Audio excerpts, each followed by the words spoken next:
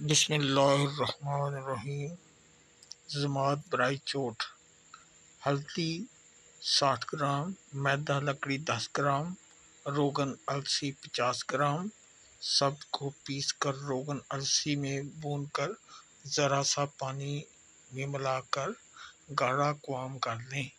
जिस तरह हलवा होता है गरम गरम मकाम, चोट पर मोटा मोटा लेप कर दें। फ़ौरन सुकून होगा।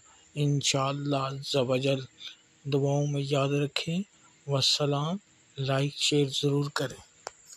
किसी का भला हो सकता है।